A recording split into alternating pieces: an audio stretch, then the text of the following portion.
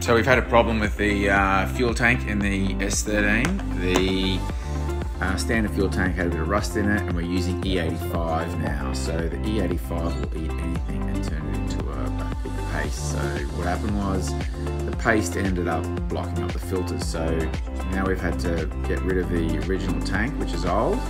So we've got a CAD drawing done up, then we've got a, uh, an aluminium um, version made up that's exactly the same as the standard tank, so it'll go in. Um, we it up on the, on the CAD drawing and then um, send it off to the laser cutters and they cut all the pieces we need exactly um, in these dimensions. Uh, and then we got Broctor um, to roll it up and this is the finished product.